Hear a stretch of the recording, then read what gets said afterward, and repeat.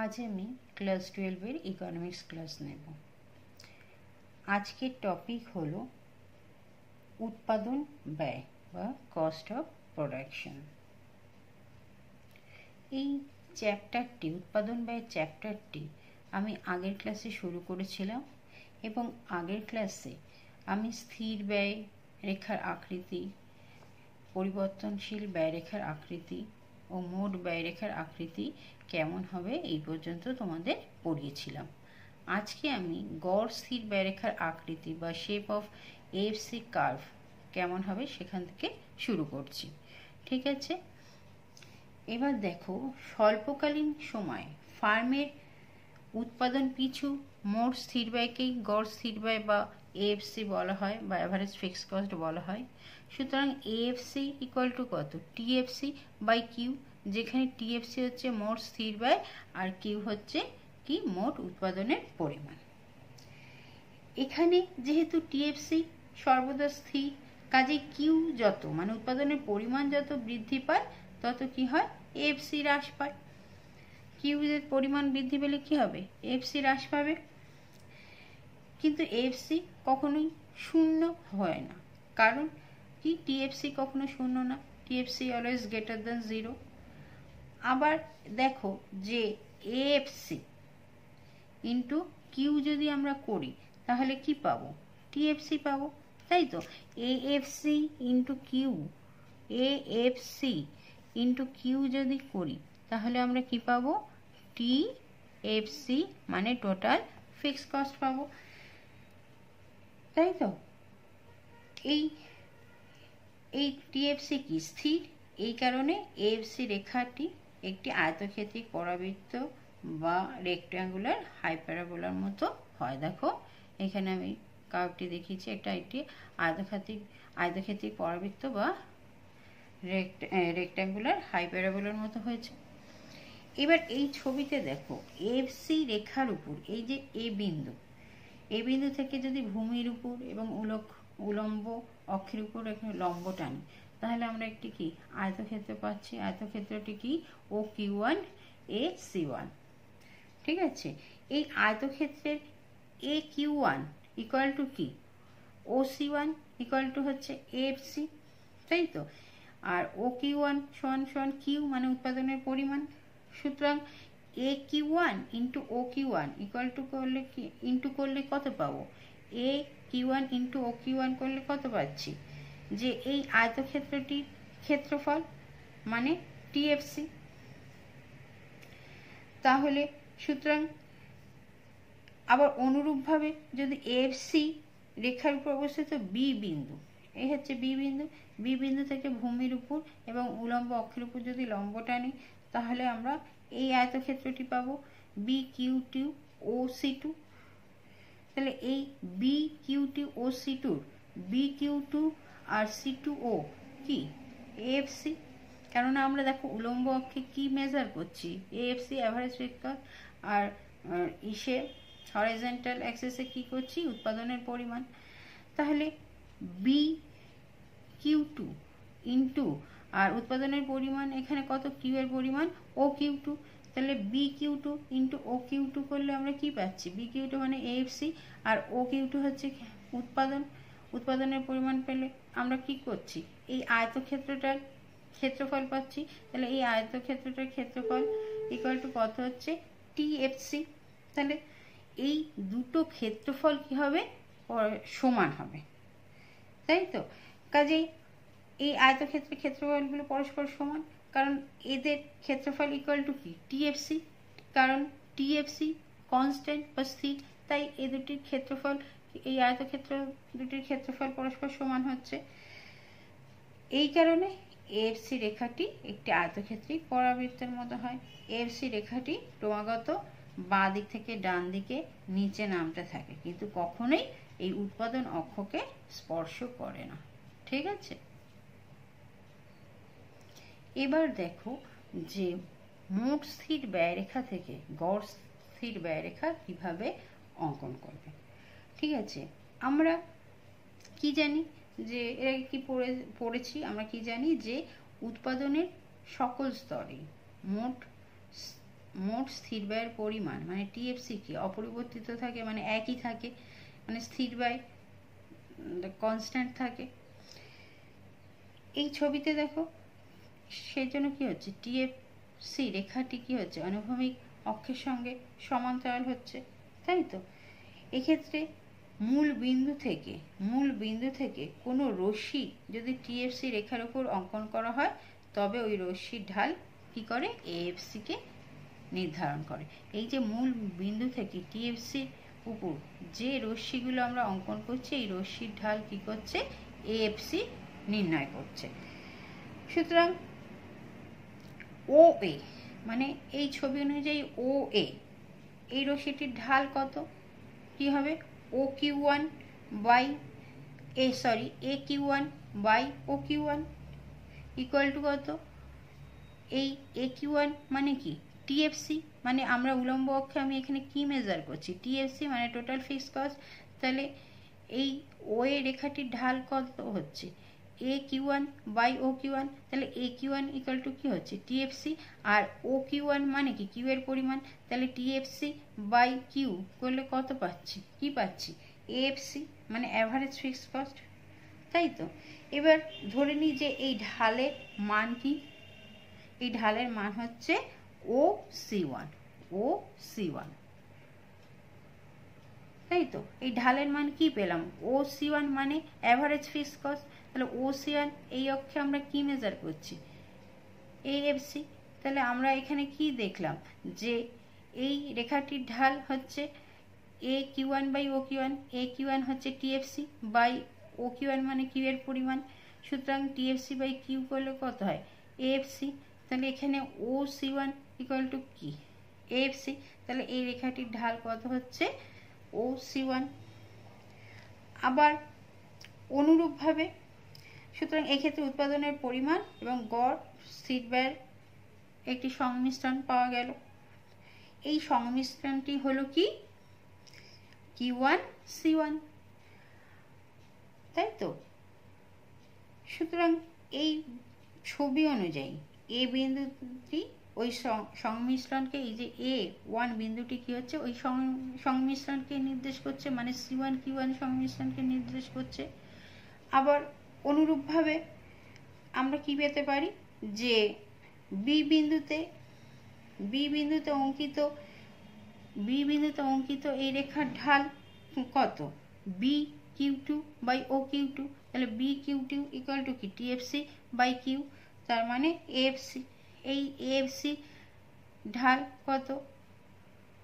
ও C two অনুরূপভাবে এই C বিন্দুতে যে রেখা রশ্মি টানা হয়েছে। তার ঢাল কত C Q three by O Q three মানে TFC by Q equal to FC তাহলে সেক্ষেত্রে আমরা আর একটা সংমিশ্রণ বিন্দু পাবো। কি পাবো? যে সি থ্রি কিউ টু আর এই বি বিন্দুতে কি পাচ্ছি? সি টু কিউ টু সুতরাং এই যে সংমিশ্রণ বিন্দুগুলো পাচ্ছি, সেই সংমিশ্রণ বিন্দুগুলোকে যদি একটি রেখার সাহায্যে আমরা যোগ করি, তাহলে আমরা কি পাবো? এএফসি কার্ভ পাবো, ঠিক আছে? আবার ছবিতে দেখো যে এ বি রশ্মির ঢালের তুলনায় ওবি রশ্মির ঢাল কি কম? আবার ওবি রশ্মির ঢালের তুলনায় ও সি রশ্মির ঢাল কি কম? কেননা এই রশ্মিগুলো ক্রমশ কী হচ্ছে ফ্ল্যাটার হচ্ছে, তাই তো? আবার এইখানেও দেখো যে ওসি ওয়ানে গ্রেটার দেন ওসি টু আবার OC two greater than OC three তাই এই এফসি রেখাটি কি হচ্ছে? বাঁ দিক থেকে ডান দিকে নিম্নমুখী হচ্ছে। ঠিক আছে?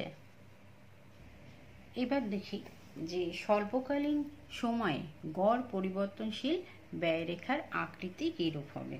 বা shape of the short run AVC curve ঠিক আছে? এবার আমরা এভিসি টোটাল এভিসি থেকে কীভাবে আমরা এই স্বল্পকালীন গয় গড় পরবর্তী, পরিবর্তনশীল ব্যয়রেখা অঙ্কন করব, সেটা আমি তোমাদের দেখাচ্ছি। ঠিক আছে? হ্যাঁ এই দেখো। যে আমরা কি জানি? যে ফার্মের গড় পরিবর্তনশীল ব্যয় মানে এভিসি ইকুয়াল টু কি? মোট পরিবর্তনশীল ব্যয় মানে টিভিসি বাই মোট উৎপাদনের পরিমাণ বাই কিউ তাহলে টিভিসিকে যদি আমরা কিউ দিয়ে ভাগ করি, তাহলে আমরা কি পাই? এভিসি পাই। স্বল্পকালীন সময়ে ফার্মের কিছু উপাদান স্থির থাকে, যেমন ক্যাপিটাল স্থির। আবার কিছু উপাদান কি থাকে? পরিবর্তনশীল, যেমন লেবার। অর্থাৎ উৎপাদন মানে কিউ বৃদ্ধির প্রয়োজন হলে আমরা ক্যাপিটালের সাথে ক্রমাগত কি করি? অধিক পরিমাণে লেবারের মিশ্রণ ঘটাতে থাকি। ফলে পরিবর্তনশীল উপাদানটির প্রতিদান বিধি মানে law of return to variable factor কার্যকর হয়।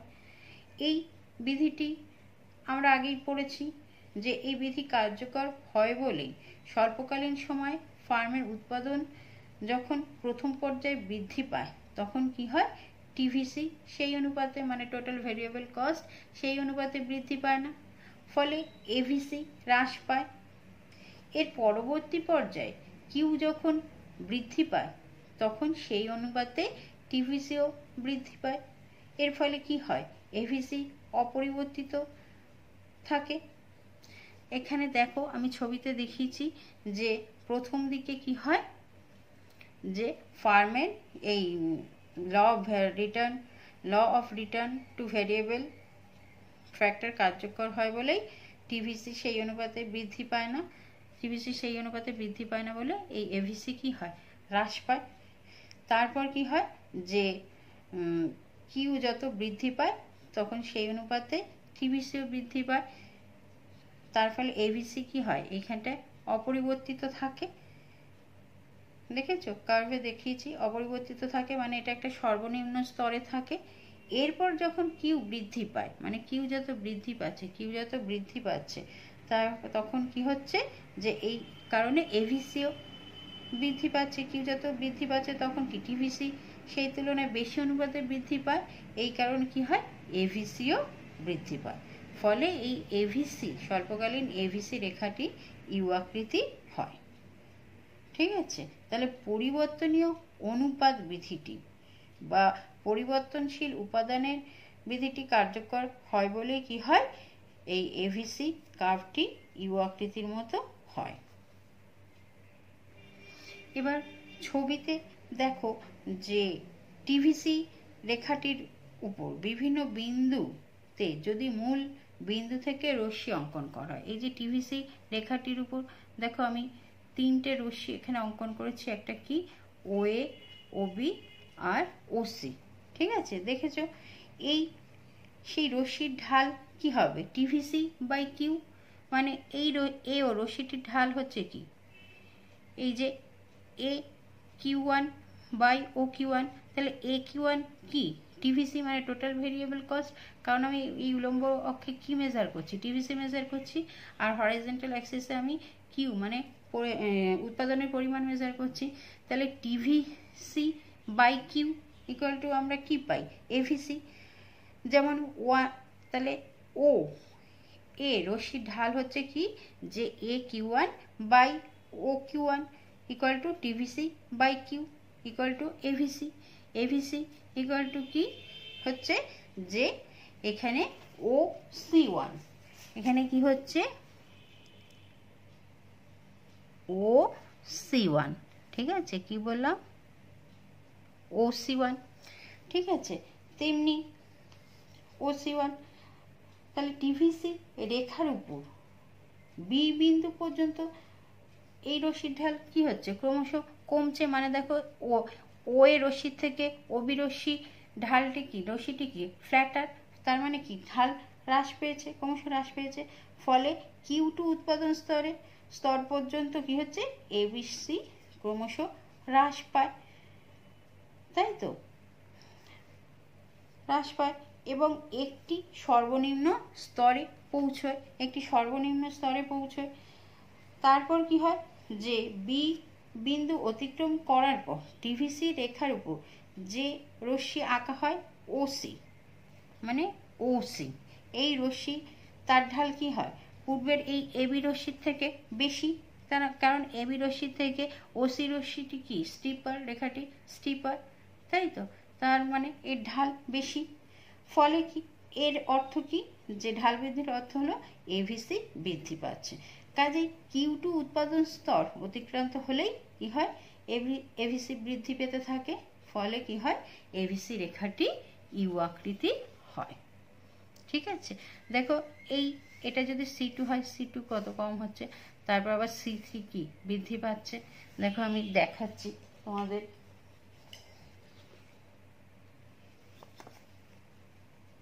এটা হচ্ছে ও সি টু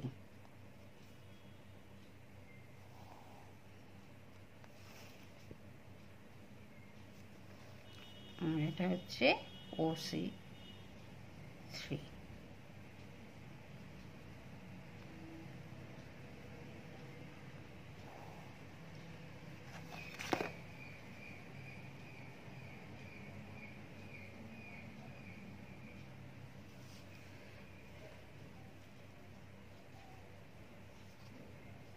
ঠিক আছে? এবার দেখো, স্বল্পকালীন গড় ব্যয় রেখার আকৃতি কীরূপ হবে? Shape of short run AC curve ঠিক আছে? যে আমরা এর মধ্যে কি জেনেছি? যে স্বল্পকালীন সময় কারবারি সংস্থার উৎপাদন বৃদ্ধির প্রথম পর্যায়ে এএফসি এবং এভিসি উভয় কি হ্রাস পায়? ফলে স্বল্পকালীন গড় ব্যয় এসি হ্রাস পায়। আমরা আগের ছবিতে দেখলাম। এই যে ছবিতে দেখা যাচ্ছে যে ছবিতে আমরা কি দেখতে পাচ্ছি? যে ও ও কিউ ওয়ান উৎপাদন স্তর পর্যন্ত এফসি এবং এ, এভিসি, ঠিক আছে? উভয় হ্রাস পাচ্ছে, পেয়েছে। ফলে উভয় রেখার উলম্ব সংযোজনের ফলে যে এসি রেখাটি পাওয়া গেল, এই এসি রেখাটি পাওয়া গেল, সেটিও কি হলো? নিম্নগামী হলো। মানে ডাউনওয়ার্ড স্লোপিং হলো। এরপর কিউ ওয়ান কিউ টু মানে কিউ ওয়ান কিউ টু উৎপাদন স্তরের মধ্যে কি হচ্ছে? এভিসি বৃদ্ধি পেল। এএফসি হ্রাসের গতি তার তুলনায় বেশি হয়। এসি তখন হ্রাস পেয়েছে।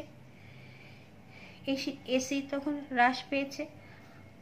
এরপর কিউ টু কিউ থ্রি মানে কিউ টু কিউ থ্রি এই উৎপাদন স্তরের মধ্যে এবিস এভিসির বৃদ্ধি, গতি এবং এএফসি হ্রাসের গতি প্রায় সমান।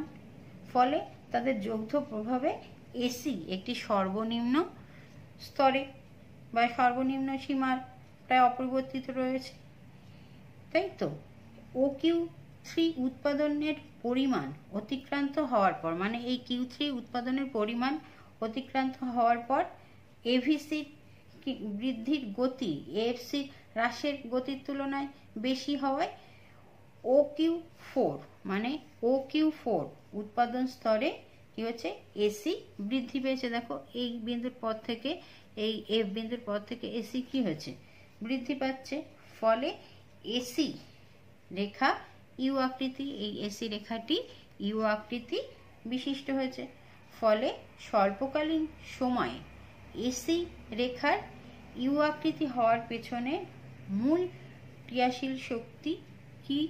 আমরা আগেই এর আগের ছবিতেই দেখলাম যে পরিবর্তনীয় অনুপাত বিধি। সুতরাং এক্ষেত্রে পরিবর্তনীয় অনুপাত বিধির জন্যই কি হচ্ছে? যে এসি মানে অ্যাভারেজ কস্ট কার্ভটি ইউ আকৃতির বা ইউ শেপের হচ্ছে। ঠিক আছে? আবার ছবি অনুসারে দেখো এভিসি রেখার স্থিতিবিন্দু। এভিসি রেখার স্থিতিবিন্দু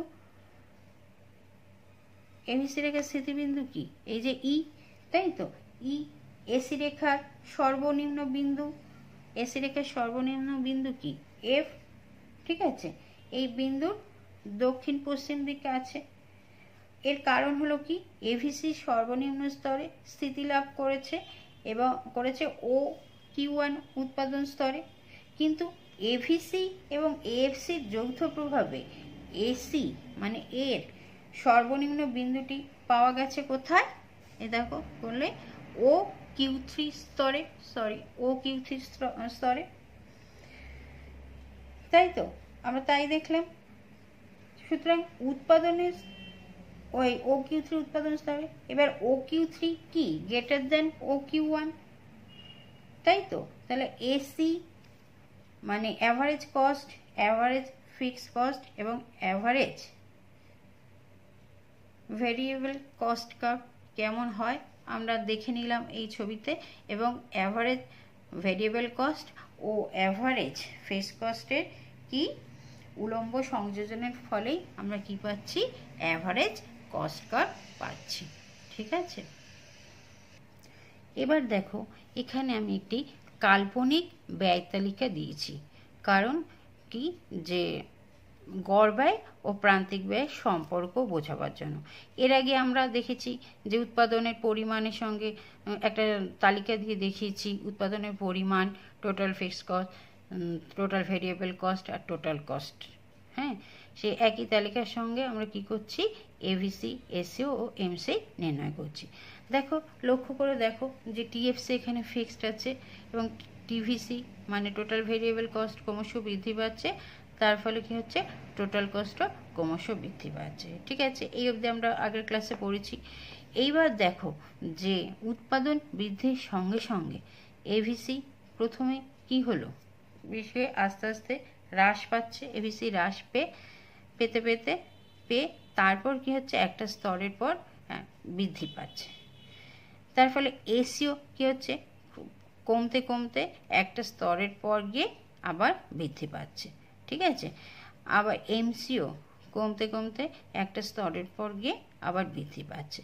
দেখো, যখন সেভেন ইউনিট উৎপাদন হচ্ছে, তখন কি হচ্ছে যে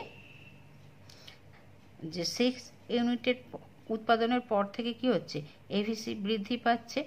আর সেভেন ইউনিটে কি হচ্ছে? এভিসি এসি আর এমসি সর্বনিম্ন হচ্ছে তারপরের থেকে কি হচ্ছে? এসি এভিসি এসি আর এমসি কি হচ্ছে? ক্রমশ বৃদ্ধি পাচ্ছে। ঠিক আছে?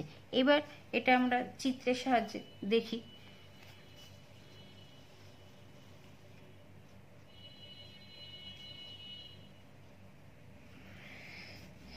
যে আমরা তালিকায় কি দেখলাম? যে উৎপাদনের পরিমাণ মানে কিউ ক্রমশ বৃদ্ধি পাচ্ছে, যখন ক্রমশ বৃদ্ধি পাচ্ছে, তখন টিসি মানে টোটাল কস্ট প্রথম পর্যায়ে তুলনামূলকভাবে ধীর গতিতে বৃদ্ধি পেয়েছে। তাই তো?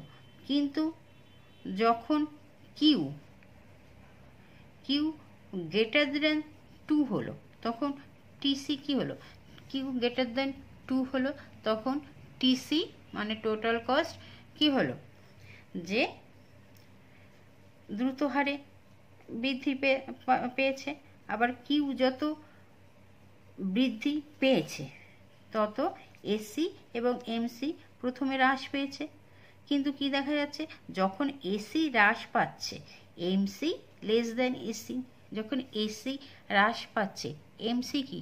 লেস দেন এসি আছে।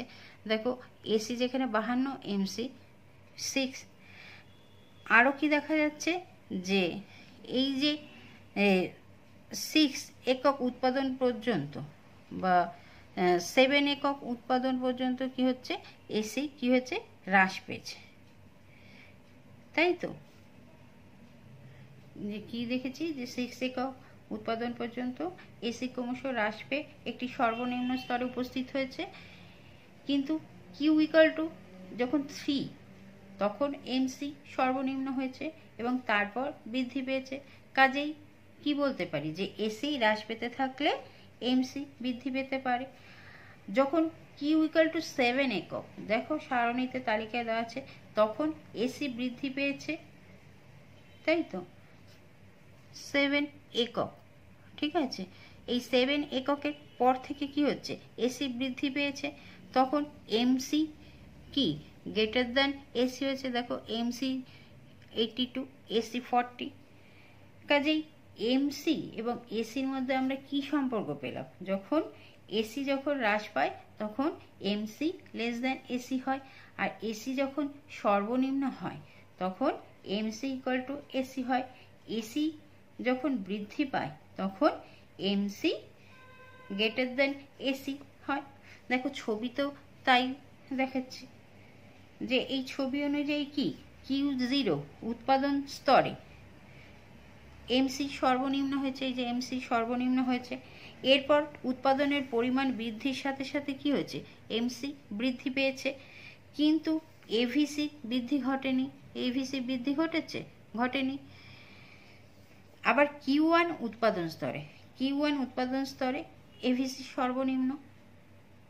এবং তখন এমসি ইকুয়াল টু এভিসি হয়েছে। কেননা এমসি কার্ভ আর এভিসি কার্ভ এই বি বিন্দুতে কী করেছে? ছেদ করেছে ইন্টারসেক্ট করেছে। এবার এসি রেখার সর্বনিম্ন বিন্দু এভিসি রেখার সর্বনিম্ন বিন্দুর উত্তর পূর্বে মানে এই এভিসি রেখার সর্বনিম্ন বিন্দু আর এই সি বিন্দু হচ্ছে কি? এসি রেখার সর্বনিম্ন বিন্দু। তাহলে এই এভিসি এসি রেখার সর্বনিম্ন বিন্দু এভিসি রেখার সর্বনিম্ন বিন্দুর উত্তর পূর্বে অবস্থান করছে। ফলে কি কিউ টু এই যে কিউ টু উৎপাদন স্তরে এসি সর্বনিম্ন হয়েছে এবং Q two greater than Q one হয়েছে। তাই তো? তাহলে কিউ টু উৎপাদন স্তরের পূর্ব পর্যন্ত যখন এসি হ্রাস পাচ্ছে, তখন কি হচ্ছে? এমসি লেস দেন এসি হচ্ছে। কি বললাম? এমসি লেস দেন এসি হচ্ছে। দেখো, এমসি কার্ভ এসি কার্ভের নিচে অবস্থান করছে। কিউ টু উৎপাদন স্তরে যখন এসি সর্বনিম্ন হচ্ছে, তখন কি হচ্ছে? এমসি ইকুয়াল টু এসি হচ্ছে। এমসি কার্ভ আর এসি কার্ভ ইন্টারসেক্ট করেছে। আবার উৎপাদন কিউ টু অপেক্ষা বেশি হলে, তখন কি হচ্ছে? এমসি গ্রেটার দ্যান এসি হচ্ছে। ঠিক আছে? তাহলে আজকের ক্লাস এই পর্যন্ত। এখানেই শেষ হলো।